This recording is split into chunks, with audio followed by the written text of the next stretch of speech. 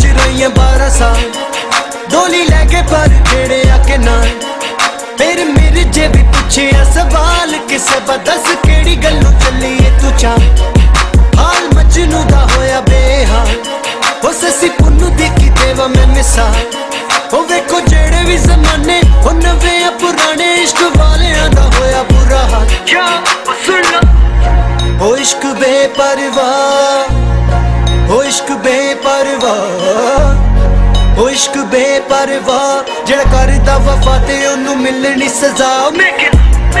ਉਹ ਇਸ਼ਕ ਬੇਪਰਵਾਹ ਉਹ ਇਸ਼ਕ ਬੇਪਰਵਾਹ ਉਹ ਇਸ਼ਕ ਬੇਪਰਵਾਹ ਜਿਹੜਾ ਕਰਦਾ ਵਫਾ ਤੇ ਉਹਨੂੰ ਮਿਲਣੀ ਸਜ਼ਾ। ਮੇਕ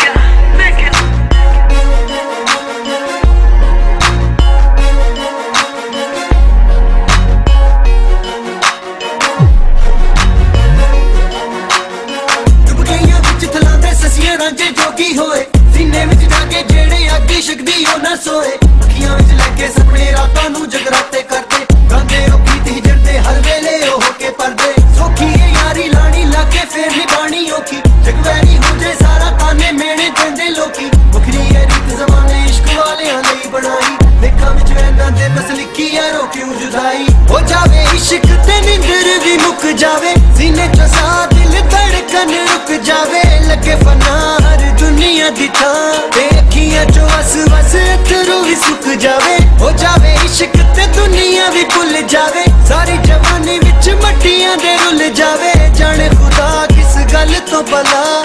ਇਸ਼ਕ ਵਾਲਿਆਂ ਨੂੰ ਕਦੇ ਮਿਲੇ ਨਾ ਵਫਾ। ਰਾਂਝੇ ਮੱਛੀਆਂ ਚੁਰਾਈਆਂ 12 ਸਾਲ। ਡੋਲੀ ਪਰ ਜਿਹੜੇ ਆ ਕੇ ਨਾਲ ਫਿਰ ਮੇਰੇ ਜੇ ਵੀ ਪੁੱਛਿਆ ਸਵਾਲ ਕਿਸੇ ਬਦਸ